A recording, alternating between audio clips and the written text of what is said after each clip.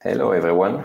Um, so welcome to the uh, this year new new experience for the Yocto project and Open Embedded both at uh, ELC. So I mean, as everybody knows, this is the first time for everyone where this is going to be a virtual event. So I'm Nicolas Dechesne, I'm the Yocto project community manager, and with me we have Philippe Balister. Philip. Hello. So the BOF is always a very interesting exercise. Uh, so we are here as speakers, but really what we want to do is uh, we want people to ask questions and we want someone from the audience to actually answer the question. So, I mean, our job is to find questions and to find who can answer the questions. So we, we have started and we have prepared a few slides to just uh, get started and get, the, get us warmed up. So we'll go quickly through these slides and hopefully uh, we'll have uh, questions um, so maybe there are a few things we have to say about the logistics. Uh, so there is the live chat. Um, I think, I mean, you can ask questions and you can raise your hands uh, if you want to talk or say something. And uh, we have uh, Jennifer from LF today that will help us and get you, put you on stage when once you raise your hand. So we'll do our best uh, to use this tool. Um, I'm told this is, uh, we are the very first people to actually use it today. Um, so if you raise your hand, uh, we'll give you uh, uh, we'll give you the mic at some point. Mm -hmm. Okay, so um, yeah, and if you have anything, I mean, just ask in the live chat. We are Philip and I will try to keep an eye on the live chat as well. So some project updates quickly. Um, we like to do that uh, since the last, last time we had the BOF, uh, which was at ELCE. Uh, we've made a, a number of releases uh, for the Yocto project. So, I mean, you have all the numbers and all the values really. So we've been quite busy. Uh, the engineering team has been busy with people around the world.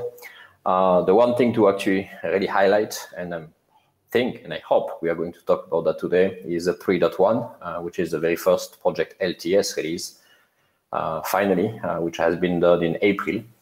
And um, yeah, so that's, I mean, one of the reasons why we ended up doing the LTS is because we've talked at, about the lack of LTS at many BOFs before. So hopefully uh, we can talk about wow and what is being changed now that we have the LTS. So that's just to give you an idea about um, how we are busy and who are the developers and how many developers are actually contributing to the release.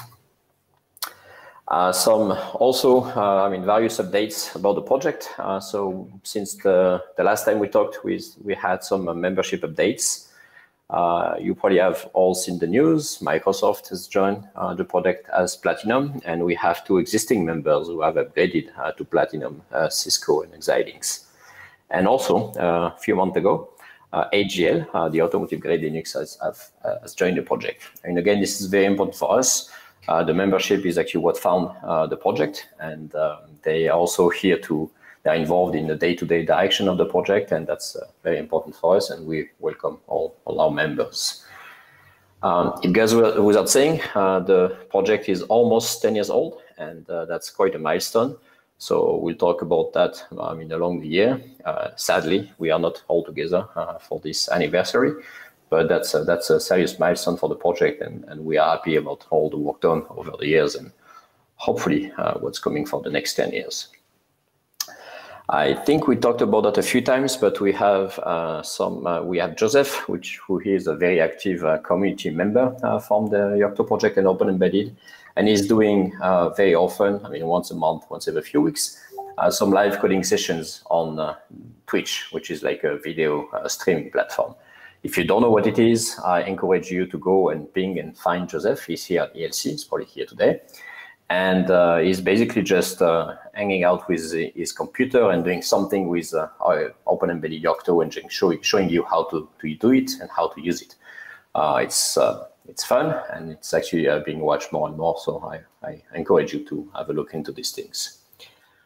Last time we talked, I think I mentioned that we were moving the infrastructure side of all the list, mailing list for the Yocto project and the OpenEmbedded to Groups.io. I'm happy to report that it's done.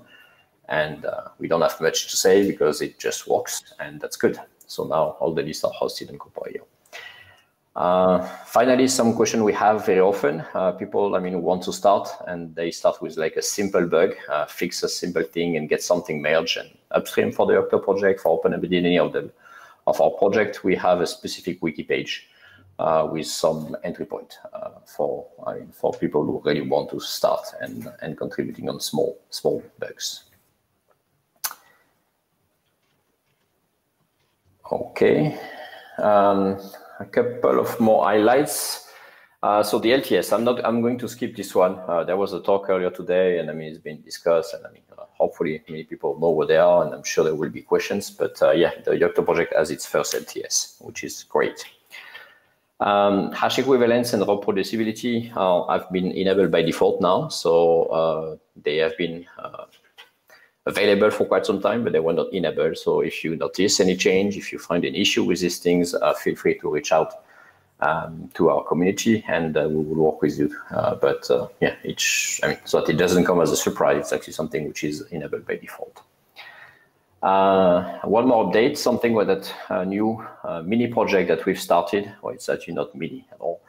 Um, we are in the process of doing a migration for the Yocto document, Yocto project documentation from what it is today, which is based on DocBook, uh, and uh, we've chosen to move to Sphinx. It's been a it's been a decision that has been approved by the the Yocto Project TSC.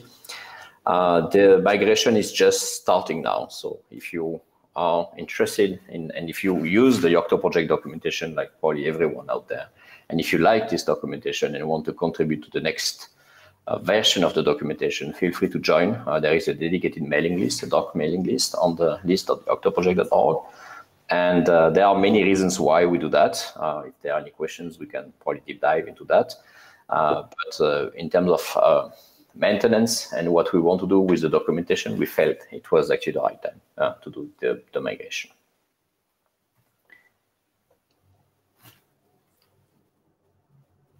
Philip, you want to take this one? Yeah, I'll take this one. Um, so I'm Philip Balister. I'm also on the Open Embedded board. Um, which is basically the build system that got the whole Yocto project started. Um, and we hosted a workshop in February in Brussels the day after FOSDEM, um, and we had sponsorship from the Yocto project. So thank you, Nico. Um, we have recordings that should go live real soon now, and you can get a link to those from the URL on screen there, uh, which is also should be findable from the Open Embedded website. Um, and we had probably 20 25 people there and it was very well received and we would like to do something similar again because uh, it's very nice to have you know one day of just concentrated talks so please talk to me about you know running this virtually unless you know the world improves dramatically in the next mm-hmm. few months um, we should think about doing one of these virtually to see how it goes. And I'm very interested in getting people to talk about what they're doing who are not normally presenting at things. This is a smaller environment, a little bit easier to get your feet wet. Mm-hmm. So we would like to get more people talking about their work. Uh, can we have the next slide, Nico? Um, this is the list of talks at this conference and you've already missed the LTS talk that Nico did earlier. Um, this is the BOF. And one that I would like to just call your attention to is uh, on Wednesday, Joshua Watt is going to talk about reproducible builds and hash equivalence, which uh, we touched on recently uh, on an earlier slide as something, some recent work in the project. Okay, next slide and we are now actually running out of material. Yeah. Now it's so this is the interactive part of part of the BOF, and for the audience, um, one thing I always like to hear is what are we doing well, and what can we do better, especially things that we haven't thought about. So this is sort of uh, throw it out to the audience and see if anyone has any questions. If you have questions, please type them into chat. So if you if you, if you've been to the BOF before, I mean, you know how we like these things. Uh, we like any kind of questions, and they are in the room. I mean, I mean, I can recognize. I mean, many developers from different places of the project, so we can hopefully answer lots of questions and any questions you have. If you've not done the BOF before, I mean, know that. I mean, uh, we will make sure that we find the right person to answer your question.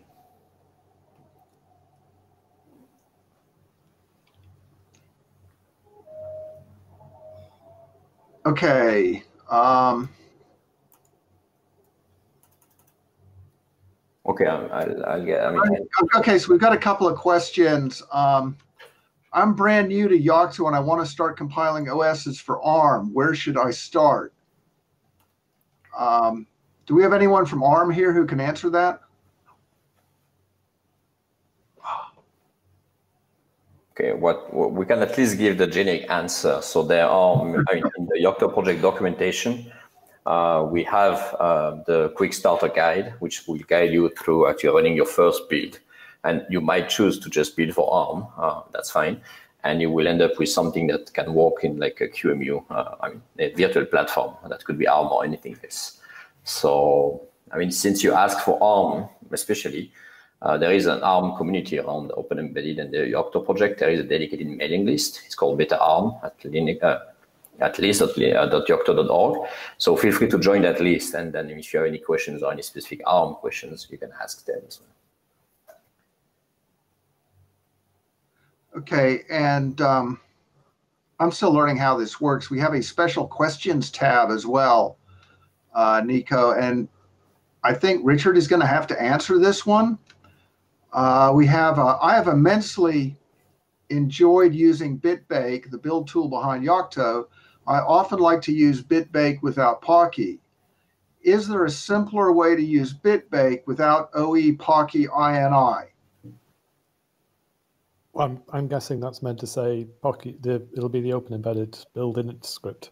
Uh, all that script does is just set some environmental variables. So if you don't want to use that, figure out what variables you need to set it's usually, I think, BBPATH and go from there. But you, you don't have to use that script. Yes, okay. So if you look in uh, the top level of Open Embedded Dash Core, uh, and this is what I do all the time, there's uh, catch me afterwards and I can tell you what the exact name of the script is and how it works. Um, yeah, good catch, Richard. I was thinking that he was running BitBake alone without any metadata because I overcomplicate everything. That, that's possible too, but yeah. yeah. I knew that's why I immediately thought of you because you know that's the way it was designed to work. Um, okay, yeah, putting questions in the questions section is going to work easier, I think, because I can't see it and the chat.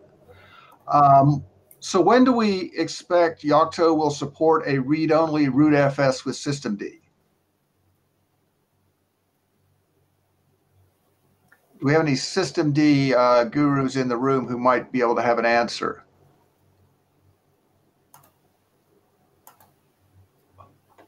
Raise your hand. Okay, let's skip that one and hope someone answers it. Um, Nika, we might need to take these and take them to chat afterwards as well. Um, so hopefully we can keep a list of the questions that we don't get good answers for. Um, so we also have a question: Is CGL Meta CGL still being maintained? Does anyone know an answer to that?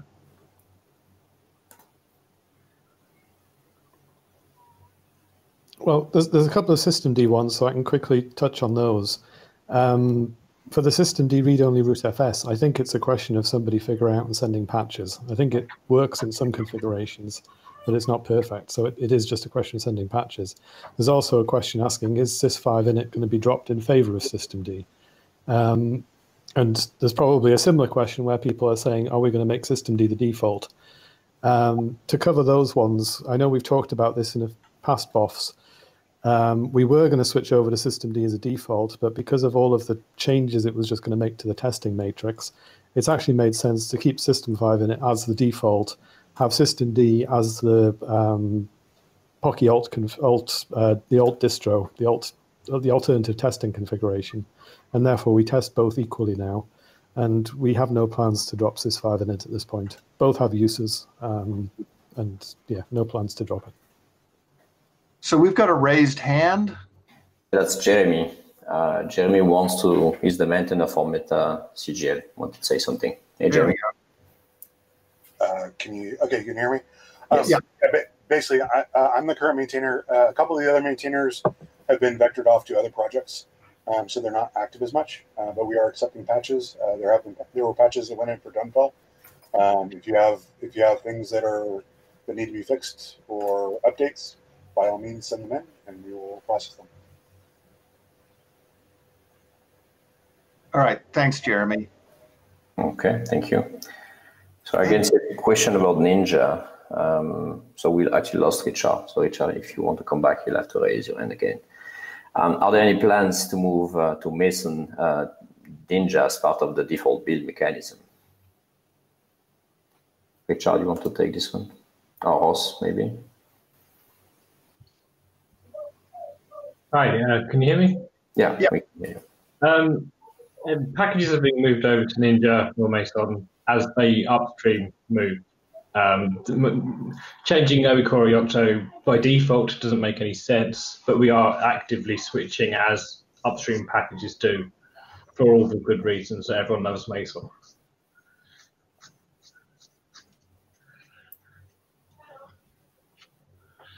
Okay, thank you.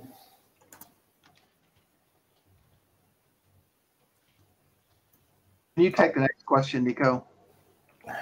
Do you have pointers on how to easily create bootloaders for custom boards that use ARM or RISC-V? Um, so do we have any uh, maintainer of baseboard layers who would like to raise their hands?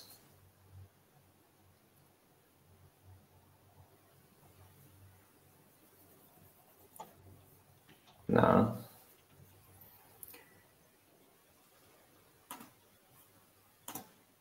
Khem, can we? Yeah, thank you. Yeah. So um, can you repeat the question once again? Yeah, let me get back to the questions. Um, do you have any pointers to easily? I think the word easily is important. Create bootloaders, bootloaders for custom board that use ARM or RISC-V. So um, yeah, I think the bootloaders are basically primarily, you know, part of the SOC development. Rather, Open Embedded provides the environment for you to work with it, right? So, but we don't like have branches or any of that sort that you would want to do. However, we do have like at least for RISC-V, there is Open um, SBI, right, which is uh, actually available in Meta RISC-V. Um, I think it is in the core now. Yeah, it is in uh, in the core metadata. So it is uh, kept up to date uh, to the latest releases. So, um, but I think you have to participate in OpenSBI, you know, ecosystem to do the development. And you could use a you know Yocto project to build and test, and basically it can be your um, build system. But I think from community aspect, I think the upstream respective upstream communities are where you want to participate. Okay. Uh, one question about PowerPC. Someone is asking what happened to PowerPC support and if it's gone.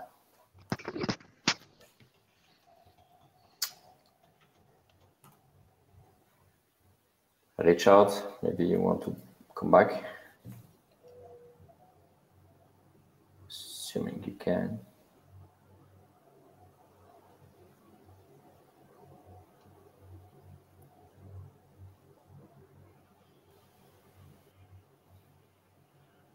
Okay, Khem, you're back. I don't know.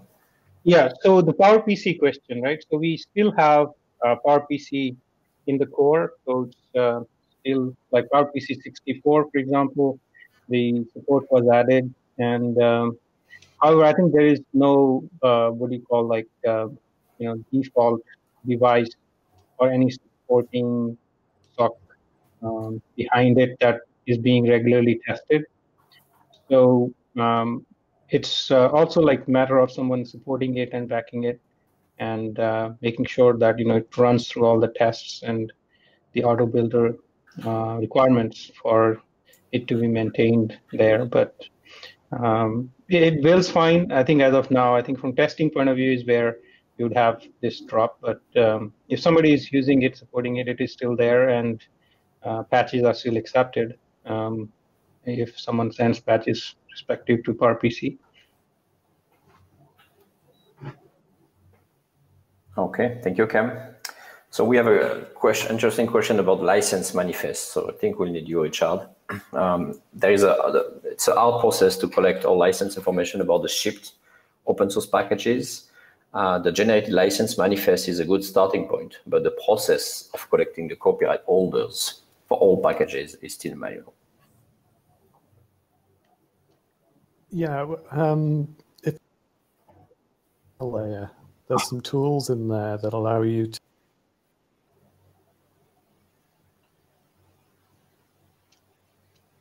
We are losing you, Richard.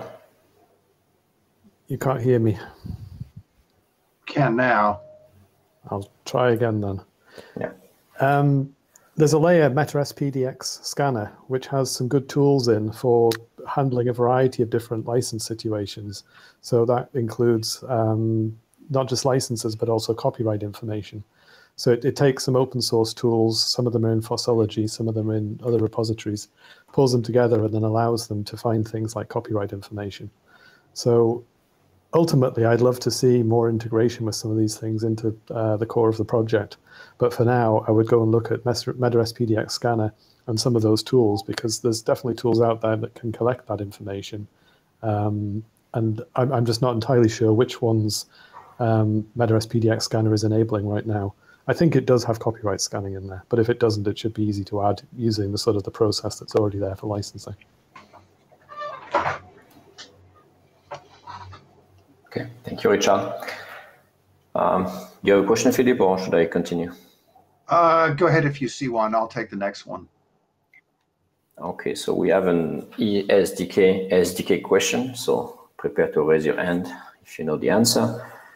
Um, I don't understand uh, the workflow of bringing artifacts produced by teams using ESDK into my final image. Where is the best place to get more information about that? I would like someone to raise a hand now.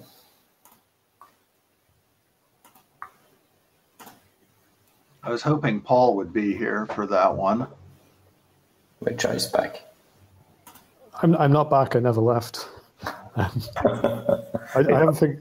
I, I figured I get removed as soon as somebody else raises their hand. I think. Do you want to answer this question, or? I could certainly have a try. I mean, br bringing back in artifacts is usually a question of writing the recipe to then go and build code, um, or the standard model of you know contributing into a shared S-state cache and working that way. Um, it, it is sort of it is the same sort of step as you would normally use for bringing things back into a normal build, which can then inject them back into an ESDK. It's sort of designed to be circular. Right? I am a little bit disappointed we haven't been able to develop ESDK further than we have. I think there's some good ideas in there. Equally, there's some things that you know both Paul and I uh, would do differently, um, given the experiences that we've had, and there's ways we'd like to improve it. So if people are looking at that, I think it, it's something that probably needs a little bit more work on its developer workflows. I think the ideas are good, but um, yeah, it's unfortunately the, the people originally working on that have been moved on to other things, and there isn't really development going on. So it, it would be great if if a new sort of generation of people wanted to step forward and figure out where to take that. That would be awesome.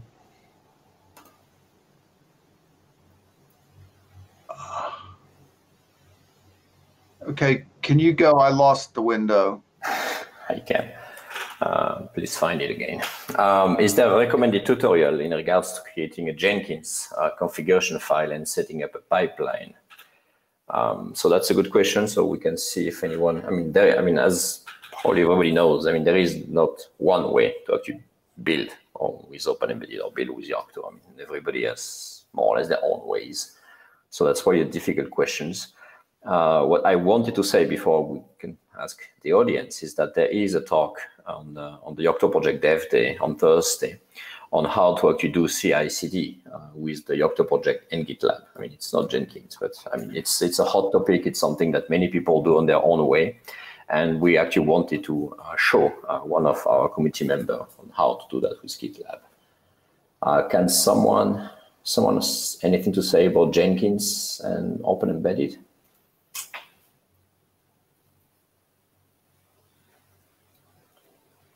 I've done it, but in very brute force manner.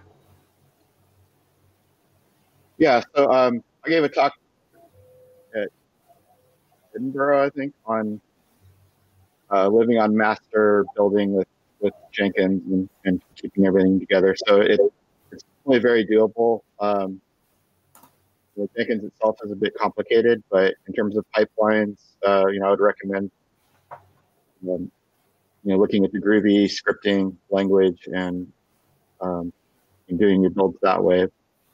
We uh, we were building at that time using uh, the Poky container from Crops. So all of our builds were done in, in Poky, um, or sorry, in the container in Docker containers. Um, there were some gotchas in that regard in terms of number of file nodes and things like that that could get in the way. These days, I would probably look at Pyrex, um, which basically wraps all your bit calls with a container call. But if you have any other specific questions, uh, ping me or come to the booth and I can try to share more. And someone posted a comment that they experiment with Jenkins and GitLab CI and found GitLab CI slightly simpler to use. And we've got a couple hands up or a hand up. David, you're on. Yes, I just, as I added a chat, to the question about ESDKs, um, there is a tool in there to export your custom content to a layer. And once it's in a layer, then it can go anywhere you want it to, to in the Yocto project. So that's a general solution. And I also added Paul Eggleton, the author. He'll be at Dev Days, so if you want to see him. He's also been haunting the booth. So check him out there at our Slack, but he'll be at Dev Day if you want to ask specific questions. He'll be talking about Dev tool in general. Thank you we have another hand. Hey, Conrad. Okay, uh, you can hear me now? It just cut out for a second there. Yeah, I just wanted to say regarding the Jenkins, uh, I work for Wind River and I've been experimenting, um, I guess, last three years with Jenkins and Docker Swarm. And I put some stuff up on uh, our open source labs uh, page for creating, um, for doing builds, uh, doing Wind River Linux builds, but it should be fairly, uh, the only should be a, uh, a lot of that stuff is relevant for building Yocto. Um, I'm going to be talking about some of that stuff um, in the dev days uh, as well. So if you have any questions, I'm happy to talk about it. I'm trying to move away from Jenkins personally. Um, I'm looking at Kubernetes and Tekton and other things, but if you're interested in those sort of details, I'm happy to talk, have to talk about them.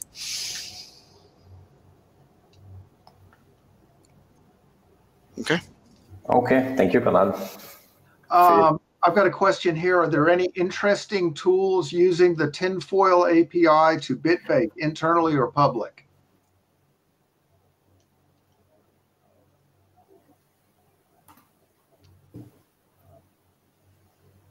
Uh, did we lose Richard again?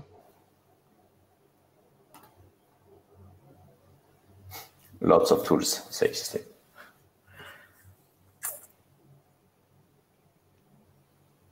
Uh, so Tim say DevTool. Oh, Richard is back. You're on.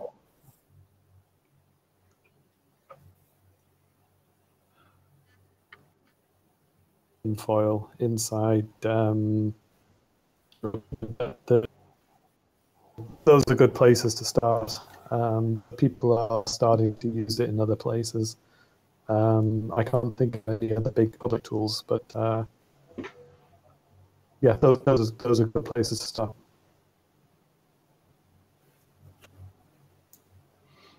Okay, so there's some usage apparently. Um, I had another one.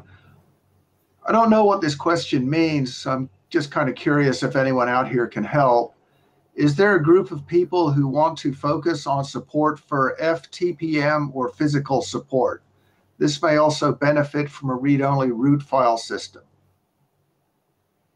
Does anyone have any ideas?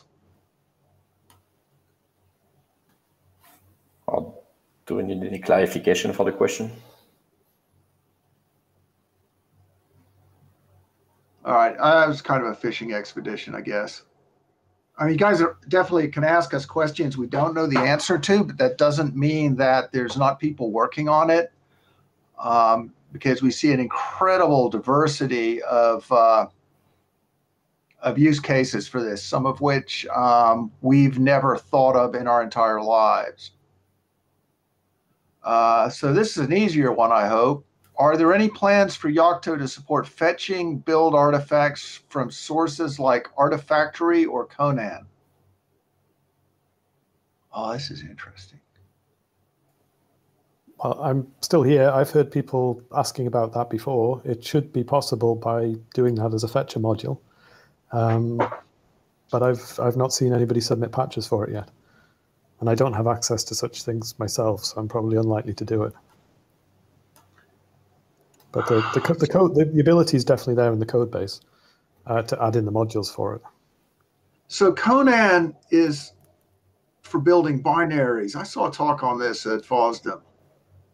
So this is, it sounds like they want to fetch binaries built in another system and then build packages. I definitely, if we don't have good answers for your questions, we'll be around the chat um, for the rest of the week.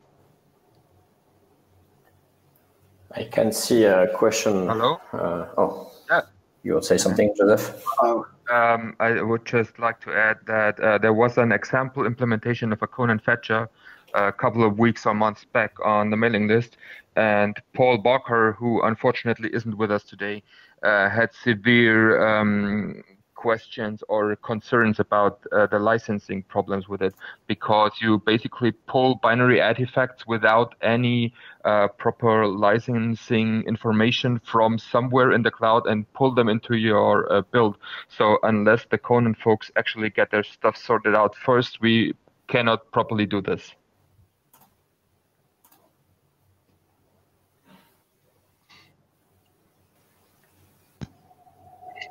Yeah, so on Artifactory, I think um, you know the setups are very proprietary, or at least that's what I've seen. So there are fetchers that are around, but uh, they are specific to implementations because how you set up the Artifactory, and it has like exchange of credentials and things like that. Um, you can say that it can be done in a more like generic fashion, and then the authentication part could be separated out. Um, but uh, we haven't done that. But um, yeah, so far haven't felt that it would be a generic solution that would be appropriate in the core or elsewhere. Um, so that's what I wanted to mention for Artifactory. And we've got one more hand. No, the hand went down. The hand No, came back. I think it was me. And you disappeared again. Um, while we're waiting, let's uh, do this question. I'm just starting to learn about Yocto. Does it support LUKS encryption for mounted file systems?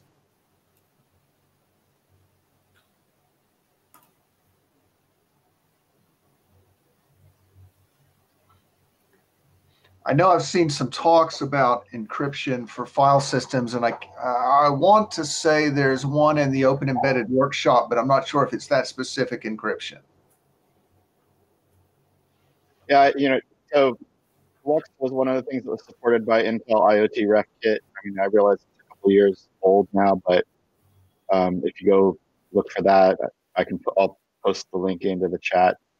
Um, that was supported there, and also there's um, some references on like NXP's um, community board about doing LUKS encryption and so on. So it's it's definitely supported. It's just a matter of uh, setting up your configuration properly, and then the devil's always in the details in terms of what specifically uh, your build system, what what you're ending up building with your images, you know.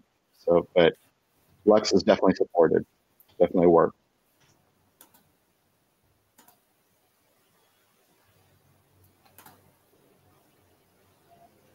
Okay, I saw a question about the DHCP. No, I don't see the question anymore. Uh, but someone was asking about the deprecation of the ISC, the DHCP, which I think I've been I've seen discussed on the mailing list or IRC like uh, this week or last last week. Also, Richard, you want to explain what's going to happen with the DHCP?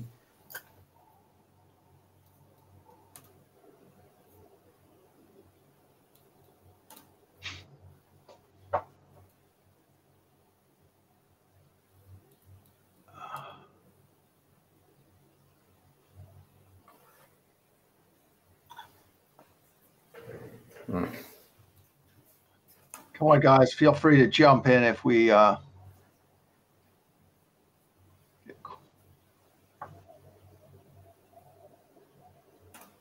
All right. I'm flipping through all the questions.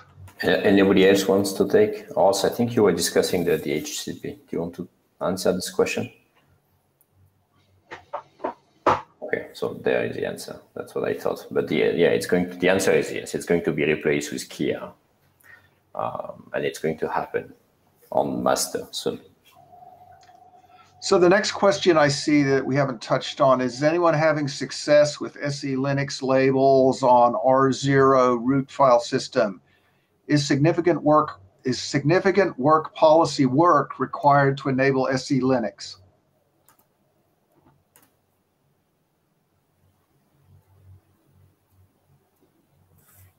And these are the questions where we need help from the audience. Okay, so we have a hand up, hand down.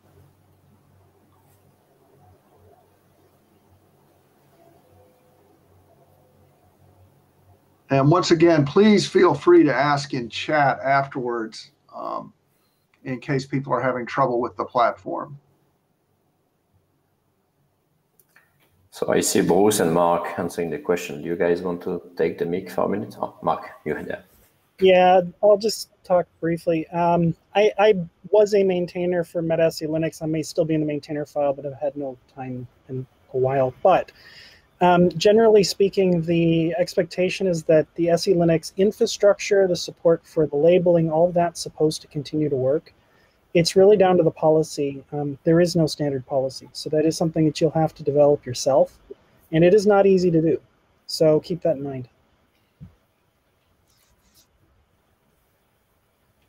Okay, thank you, Mark.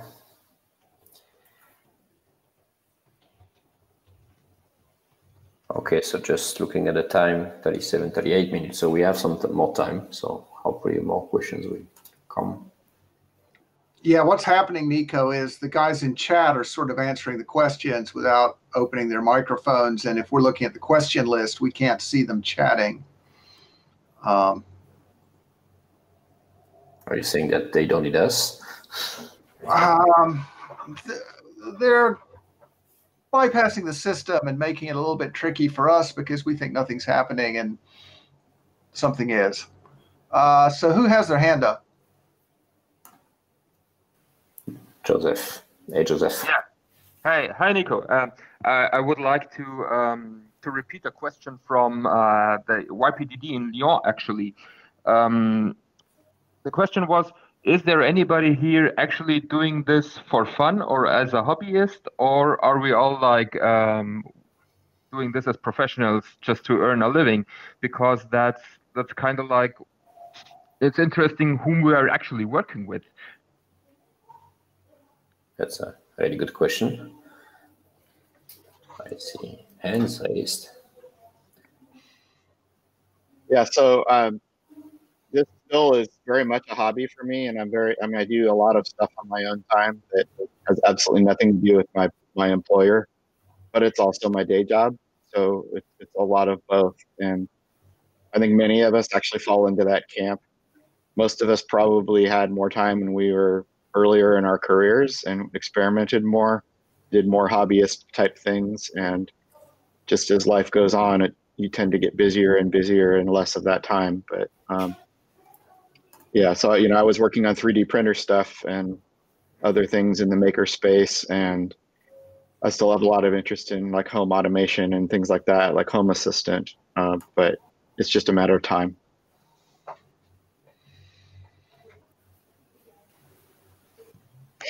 Oh yeah, so so I wanted to say I use it in both um, realms. So I have my home automation that is that's where I experiment quite a lot with stuff that um, where I use you know like Raspberry Pi as a gateway for my sprinklers and uh, for my wash machine and stuff. So I keep tinkering with stuff. That's I use it for that. And professionally, also I use the project in a separate uh, realm of things.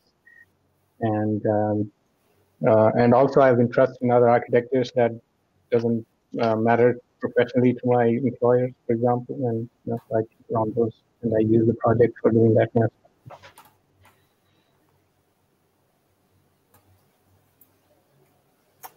Okay, I can see an interesting question here. Is there any uh, support for building an asymmetric multi-processing SoC? And if so, is that uh, supported with uh, RunQEMU?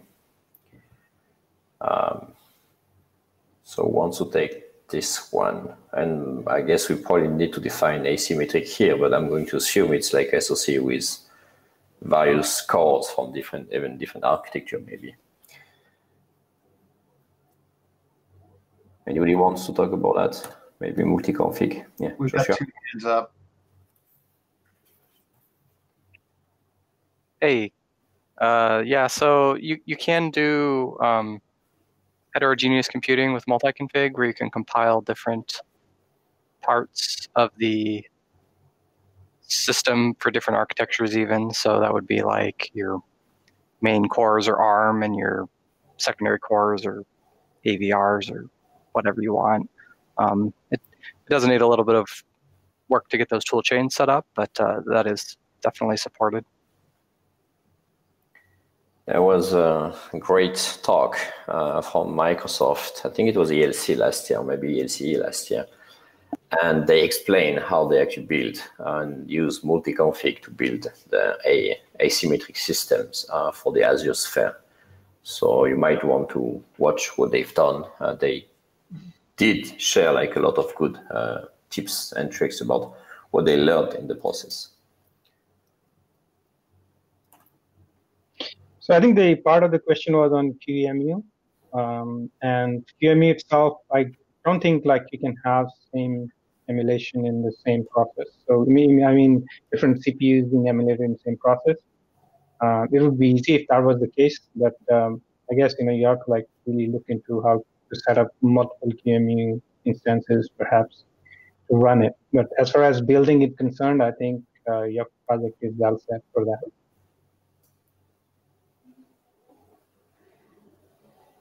Okay. Um, yeah, QEMU mainline can't do that. Some vendors have their own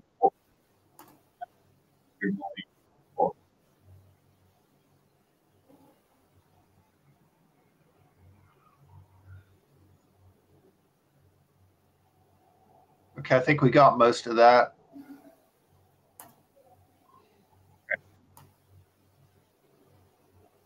Okay. So is there any questions that we have missed? Thank you for liking my cat.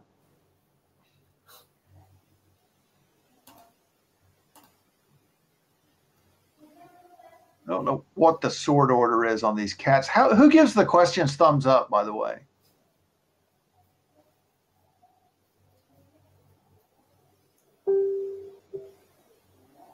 Yeah, users, every, anybody can have both questions and that actually change the order and the sorting. Yeah. We're learning a lot today. Okay, the attendees. Thanks, Jennifer. Okay, so do you have more questions? Uh, we have a question maybe for you, Jennifer. Is the audio uh, going to be available after?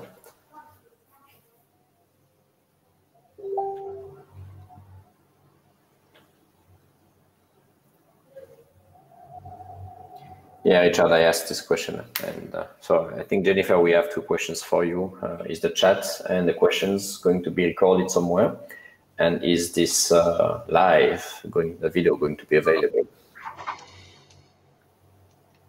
Okay, it will be, a, the video will be on YouTube.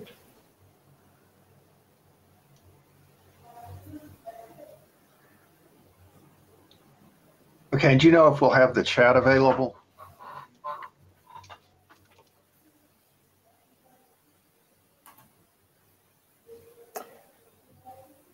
I think given the circumstance, it was not too bad. We probably had more questions than we usually have at the BoF. So I mean, the platform has been almost working fine, except with you, Richard. I'm sorry about that.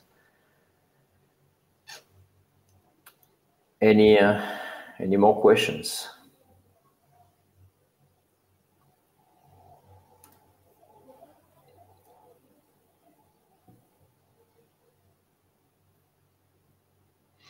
Okay, and if we have any, you know, follow-up questions, we have the uh, the the channel on Slack, and uh, most of us should be around this week to help answer questions and try and clarify anything we didn't do.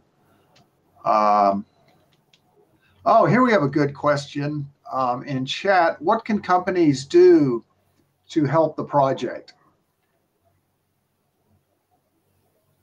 So that's a very interesting question. So there are many different answers. Um, I mean, the first and obvious one is actually to go and join the project, the Yocto project that will actually provide resources and and help set the directions for I mean, the Yocto project and open embedded technologies. I mean, that one is obvious.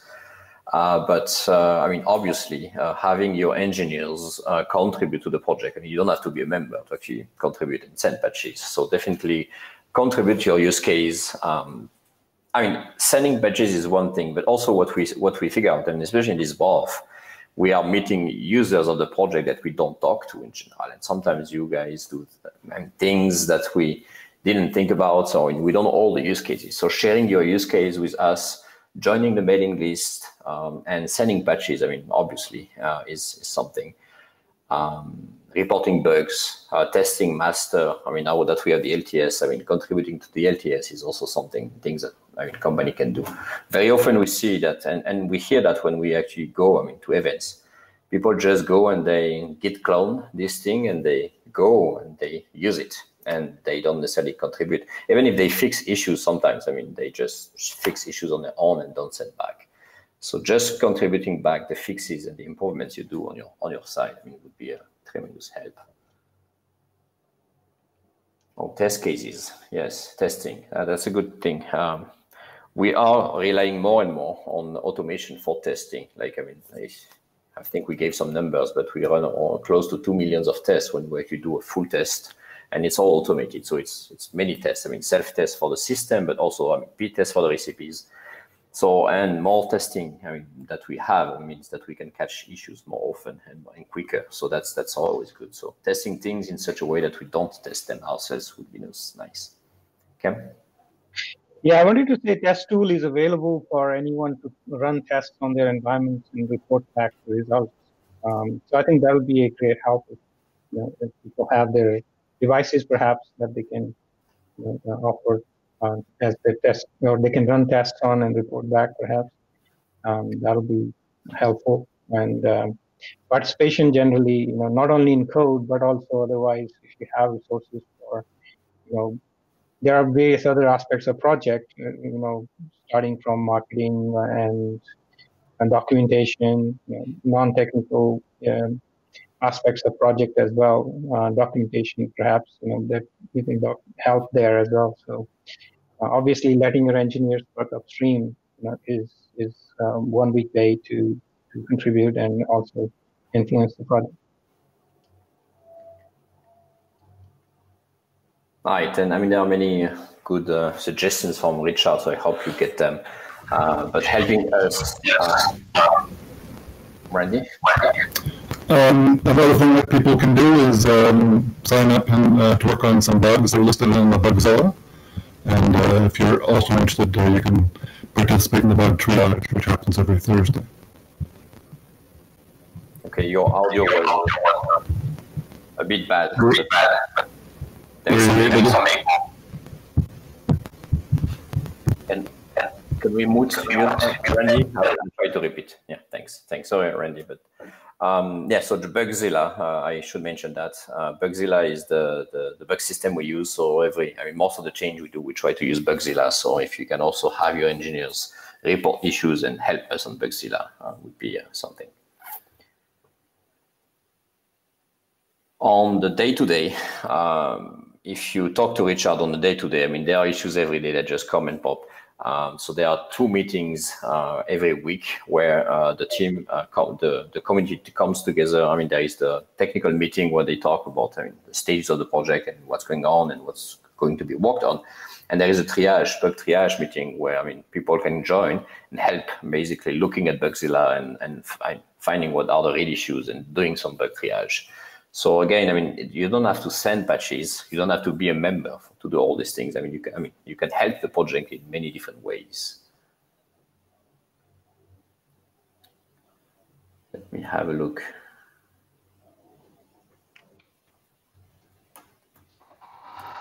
Right, there is a new testing manual which has actually been written like a week ago, finalized a week ago. So if you want to help, if you want to run the same test that the project is actually running, uh, it's actually now a very well documented process.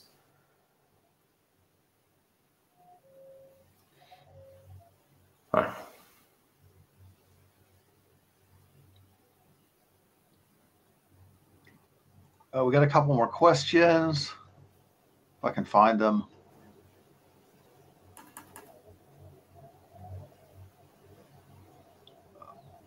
A few things about Microsoft. They actually have made a few talks and, and they explain what they what they do with the Yocto project and why they use it. So that can give you some hints about uh, why they've chosen. I think I linked one of them as one of the answers. Ah, someone put a little notification. There was more questions.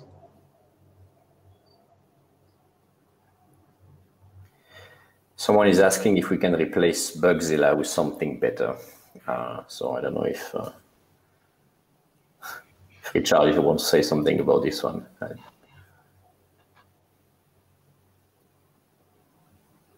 What's better these days? That's sort of a general question.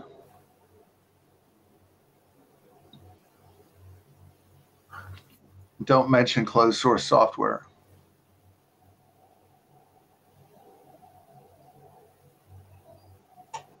All right, there may have been some questions, but I can't find them. Ooh. So as I just said, there is a migration of Bugzilla uh, to a new uh, version, which is planned for the short term. Any questions on the question tabs? So Paul Barker has a GitLab instance running um, if people want to play with that. Uh, someone mentioned GitLab. Yeah, that's correct. Actually, this is, uh, we have gitlab.com slash open embedded. If you don't find it, ask, ask me offline and I can point you. Um, that's a place, I mean, some people have asked for like hosting open embedded layers on GitLab. So we set up uh, the main uh, namespace for open embedded there. So anybody is actually free to come to us and ask, I mean, and we would just make a new project. And if they want to experiment with using GitLab for the layers, um, that's possible to do that on the Open Embedded uh, GitLab. Yeah, and I, uh, when I set up the MetaPython 2 layer, I had to do it with automation, and I used GitLab CI for that. So I posted that link in earlier. But if anybody has any questions about the approach that I took to that, I mean, I mostly copied some stuff actually from uh, oh, I'm forgetting his name now, but a guy over in, uh, in Siemens. Um, but um, yeah, it, LabCI definitely is um, fully functional, especially with things like the class Docker container, and um, and we also use it, you know, a fair amount uh, at work. But moving the entire project to that, it's just there's a lot of decisions to be made in terms of switching from a tool like Bugzilla to another tool. Okay, Tim. Thank you all for coming. Any final words, Nico? Uh, yeah, I mean, thanks everyone. Thanks for using this uh, platform and uh, having us today. Thank you. And again, we are going to be on Slack for the rest of the week. And we are on the mailing list on IRC, I mean, for the rest of the year. Uh, we also have a, a Yocto Slack channel um, as well as the embedded one, but most of us watch both of them. Yeah, that's that's not the Yocto Slack. We are actually using the conference main Slack server, and we have a channel there. We usually don't use Slack. I mean, it's actually a good question whether we should have one uh, that we can maybe discuss. No, no closed source or, or something similar. Uh, that's it.